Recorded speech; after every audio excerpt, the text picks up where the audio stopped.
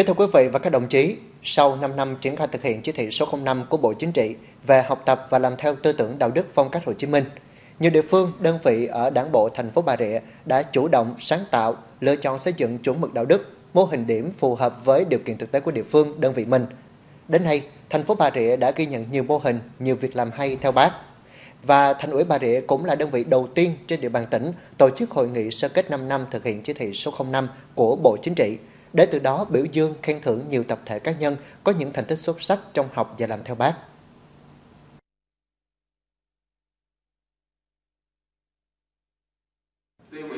Năm năm qua, việc tổ chức học tập nghiêm túc các chuyên đề về tư tưởng đạo đức phong cách Hồ Chí Minh đã góp phần nâng cao nhận thức chuyển biến thành hành động tích cực của cán bộ đảng viên. Có thể thấy, từ hiệu quả làm theo bác của các đơn vị cá nhân trên địa bàn thành phố Bà Rịa trong thời gian qua, càng khẳng định tấm gương đạo đức phong cách Hồ Chí Minh luôn là động lực cho những nỗ lực phấn đấu về những điều tốt đẹp và tấm gương của người tiếp tục lan tỏa trở thành động lực cho nhiều hơn nữa những đơn vị địa phương phát triển vững mạnh. Sơ kết 5 năm học tập và làm theo tư tưởng đạo đức phong cách Hồ Chí Minh, Thành ủy đã khen thưởng 42 tập thể, 96 cá nhân tiêu biểu trong số rất nhiều tập thể cá nhân làm theo bác. À, đối với Bà Rịa thì à, chúng tôi à, theo dõi à, lĩnh vực học tập và làm theo tư tưởng à, đạo đức phong cách Hồ Chí Minh trong 5 năm qua. À, thì Bà Rịa cũng là là một trong những lá cờ đầu à, thi đua à, để là chúng ta đoàn kết thực hiện học tập và làm theo tư tưởng đạo đức phong cách Hồ Chí Minh gắn với lại nhiệm vụ chính trị ở tại địa phương. Những cái cách làm ở từng cơ quan, đơn vị, địa phương mỗi nơi thì có một cách làm, nhưng góp chung lại thì chúng ta à, đã và đang học và làm theo à, tư tưởng đạo đức phong cách Hồ Chí Minh à, bằng những việc làm rất thiết thực hàng ngày Chi bộ phòng Tài chính Kế hoạch, Ủy ban nhân dân thành phố Bà Rịa là một trong những tập thể được thành ủy khen thưởng vì có những thành tích xuất sắc trong học tập và làm theo tư tưởng đạo đức phong cách Hồ Chí Minh. Trên tinh thần học và làm theo bác, chi bộ phòng Tài chính Kế hoạch, Ủy ban nhân dân thành phố Bà Rịa đã xây dựng mô hình nuôi heo vàng giúp đỡ học sinh nghèo và người có hoàn cảnh khó khăn phát động cái phong trào nuôi heo vàng để ờ, thực hiện mà giúp đỡ cho các em hàng nghèo hiếu học trên địa bàn thành phố Bà Rịa là mình thực hiện cái chỉ thị số 05 của Bộ Chính trị về công tác học tập và làm theo tấm gương đạo đức Hồ Chí Minh. Qua cái cấp ủy hợp với nhau á và hai cơ quan và và cùng với công đoàn của cơ quan và ban chấp hành của công đoàn với đoàn thanh niên thì thống nhất là mình ờ, chi bộ mình quyết định chọn cái phong trào á, là nuôi heo vàng bởi vì đây là cái mô hình nó thiết thực nhất. Có nghĩa là học tập thì làm theo tấm gương đạo đức Hồ Chí Minh có nhiều cách. À, nói ờ, suông không thì nó không có được hay lắm cho nên mình muốn làm một bên chi bộ mình quyết định làm một cái công tác là nó thiết thực nhất. Được duy trì từ năm 2017, đến nay, mô hình đã vận động các cán bộ đảng viên đóng góp được gần 100 triệu đồng, giúp 60 phần quà và học bổng, tiếp bước cho các em học sinh đến trường. Khi mà các em nhận được phần quà này là tôi tin rằng là các em được hỗ trợ một phần rất là tích cực trong cái công tác học tập của các em. Cụ thể là các em được nhận cái đèn để bàn nhằm giúp các em được nhìn rõ hơn trong quá trình học tập, giúp cho các em chống được cái bệnh cận thị học đường và một cái phiếu quà trị giá 300.000 đồng cũng góp phần để các em có một cái khoản tiền nho nhỏ để các em mua những cái dụng cụ học tập giúp đỡ cho phụ huynh giảm bớt được cái sự khó khăn lo cho con em trong vấn đề học tập. Nhớ lời bác dạy, tuổi trẻ thành phố Bà Rịa hôm nay đã và đang nỗ lực vượt qua mọi khó khăn thử thách để học tập, rèn luyện và trưởng thành. Có đầy đủ bản lĩnh, hoàn thành tốt các nhiệm vụ được phân công, sẵn sàng đi bất cứ nơi đâu, làm bất cứ việc gì, cống hiến cho quê hương đất nước khi mà tôi tham gia cái ờ, những cái hoạt động ờ, tình nguyện vì cộng đồng và học tập làm theo lời bác thì tôi thực sự cảm thấy những cái hoạt động này rất rất là có ý nghĩa, giúp đỡ được rất nhiều cho bà con ờ, những cụ già neo đơn hoặc là những người Ờ, già ờ, có công với cách mạng ờ, không có hoàn cảnh không có điều kiện để đến tận nơi để khám chữa bệnh Chương trình Ngày hội Thầy thuốc trẻ làm theo lời bác do Thành đoàn Bà Rịa phối hợp với chi bộ Trung tâm Y tế thành phố Bà Rịa và Trung tâm Y tế các xã phường tổ chức. Đây là một trong những hoạt động thường niên có ý nghĩa thiết thực nhằm cổ vũ tinh thần sống đẹp của các đoàn viên thanh niên trên địa bàn thành phố. Tham gia ngày hội, người dân được các bạn đoàn viên thanh niên tận tình hướng dẫn làm thủ tục, các y bác sĩ thăm khám và cấp thuốc miễn phí. Khám miễn phí tổng quát và phát thuốc. Mà hôm nay vô là các phòng là đủ, đủ bác sĩ. Coi như là uh, nhận uh, thật tình khám bệnh cho bệnh nhân. Khám phát thuốc miễn phí giúp cho bà con khó khăn uh, các uh, gia đình chính sách các người già neo đơn một phần nào đó về có sức khỏe tốt hơn và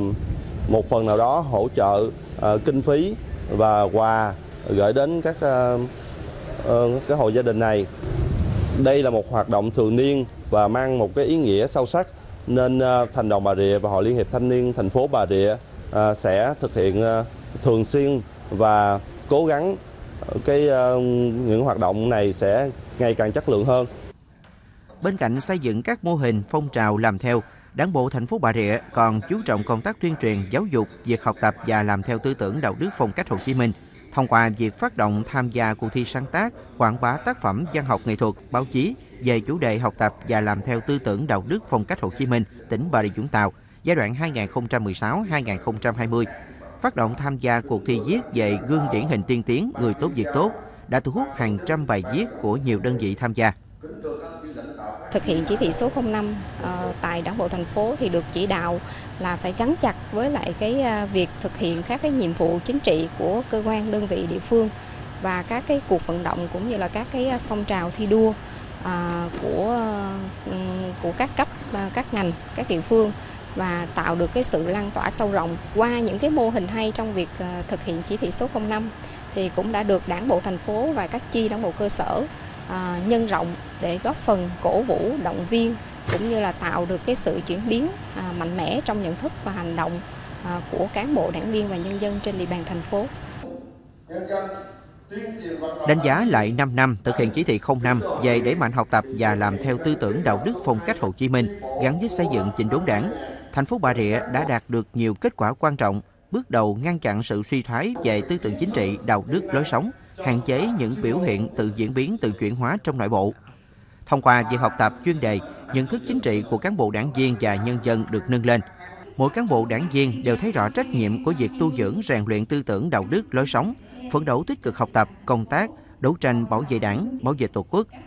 niềm tin của cán bộ đảng viên và nhân dân đối với đảng và chính quyền ngày càng được củng cố nâng cao. Và có thể nói, mọi tiến bộ trong tác phong làm việc, sinh hoạt, lối sống của cán bộ và nhân dân đều có dấu ấn đậm nét từ kết quả của việc học tập và làm theo bác.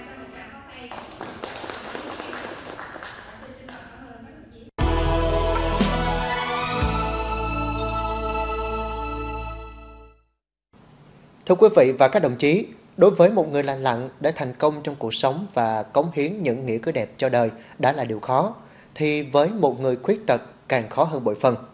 Ấy nhưng, bằng ý chí và nghị lực phi thường, bằng tấm lòng ngưỡng mộ tấm gương Chủ tịch Hồ Chí Minh,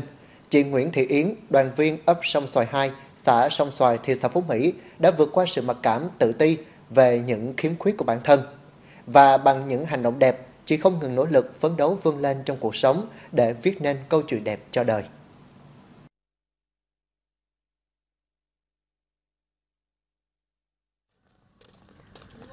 Đến ấp sông Tài 2, xã sông Tài, thị xã Phú Mỹ, hỏi chị Nguyễn Thị Yến, ai cũng biết chị. Bởi trong bà con hàng xóm, Yến không chỉ là một cô gái khuyết tật đầy nghị lực, mà còn có trái tim nhân hậu, luôn giúp đỡ những người có hoàn cảnh kém may mắn hơn mình. Cô Yến này cũng thấy cái hoàn cảnh cũng khó khăn, bệnh tật. Cũng cảm ơn cô cũng để chia sớt một phần nào cùng cái khổ cùng gia đình tôi thấy cô cũng cái hoàn cảnh cô cũng bệnh tật nhưng mà cũng cố gắng giúp đỡ những kẻ nghèo vì chẳng hạn như tôi hay bao nhiêu người khác thì cô cũng có mặt thì tôi cũng rất cảm ơn cô Yến Cơn sốt bại liệt khi lên 5 tuổi khiến chân cô Yến không được lành lặn như bạn bè cùng trang lứa. Sớm nhận thức được khiếm khuyết của bản thân, Yến đã nỗ lực rất nhiều để dương lên. Từng tốt nghiệp chuyên ngành quản trị kinh doanh hệ trung cấp, nhưng sau nhiều năm ra trường, do nhiều yếu tố, Yến vẫn không tìm được công việc phù hợp. Trở về quê, cuối năm 2019, chị Yến mở một quầy nước nho nhỏ trước cổng bưu điện phường Hát Dịch, vừa bán mưu sinh, vừa lấy tiền lời gây quỹ, giúp trẻ em nghèo hiếu học. Trung bình mỗi ngày, chị bán khoảng 30 ly nước, mỗi ly lời 3.000 đồng. Từ 3.000 đồng lời mỗi ly, chị trích ra nhiều loại quỹ để giúp các em học sinh nghèo có hoàn cảnh khó khăn, quỹ ủng hộ Covid-19. Vừa thương vừa nể phục việc làm thơm thảo của chị Yến, bà con sống quanh khu vực cũng thường xuyên đến quầy nước để ủng hộ. Thứ nhất là Yến rất là nhiệt tình, vui vẻ và cái thứ hai cái mục đích đó, Yến bán đó, là để là có một chút xíu gì để gọi là giúp những cái bạn ở vùng cao hay là hoặc cái vùng nào đó là cần đến Yến cái quán nước này thì nó cũng nhỏ bé thôi chứ nó cũng không có nó cũng có lớn lao gì nhưng mà cô rất là thích trong một lần đi chơi Tết gia đình bốn người nhà chị Thân Thị Thuấn ở ấp Cầu Ri, xã Sông Sài bị tai nạn giao thông. Kinh tế vốn khó khăn, nay càng khó khăn gấp bội khi anh chị không thể đi làm kiếm tiền mà chi phí thuốc thang ăn uống lại quá tốn kém. Mặc dù cuộc sống chỉ đủ hoặc thiếu chứ không bao giờ dư. Thế nhưng Yến đến thăm, đồng viên, chia sẻ với anh chị Thuấn. Lần nào ghé thăm, Yến cũng mang theo khi thì mấy hộp sữa, khi thì dài 300 ngàn. Và ý nghĩa hơn hết là việc Yến làm cầu nối với nhiều nhà hảo tâm để hỗ trợ gia đình chị Thuấn kinh phí chữa trị cho cả gia đình từ lúc cháu bị đến giờ là cũng tới đều mấy mấy ngày các cô, chú rảnh như này tới thăm cháu. Cháu thì mới đầu thì nó đau, khó chịu. Bây giờ thì các cô, chú tới là cháu cũng à, vui vẻ, cười, nói gia đình cũng cảm thấy vui nữa vốn dĩ xuất thân từ một gia đình khó khăn và mình cũng không được may mắn như bao bạn bè trang lứa khác.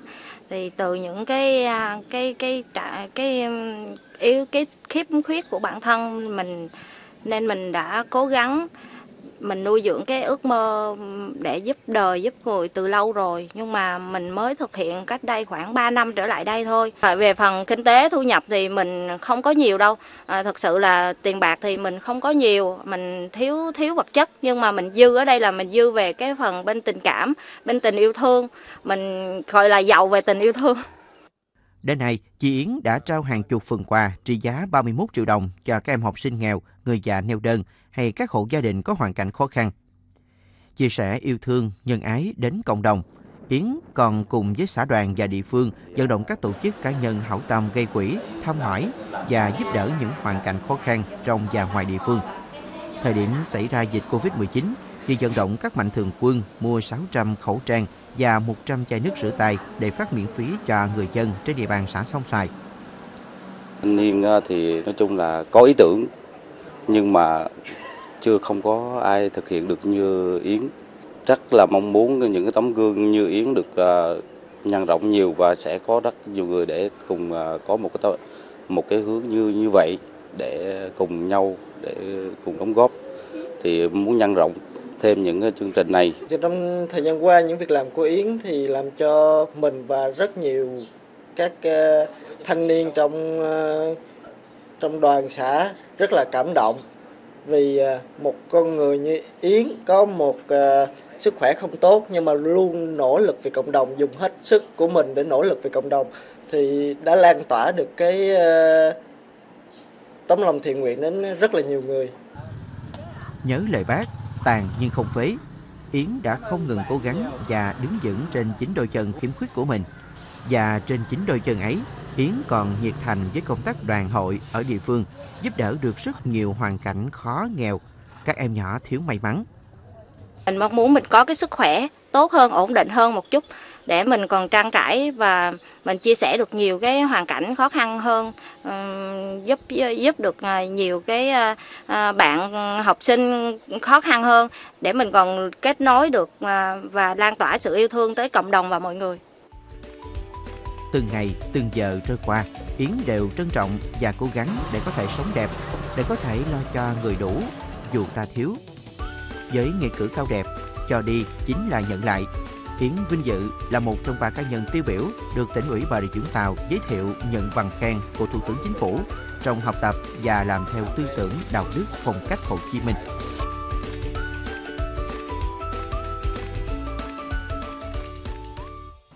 Quý vị và các đồng chí vừa theo dõi chuyên mục Học tập và làm theo tư tưởng đạo đức phong cách Hồ Chí Minh.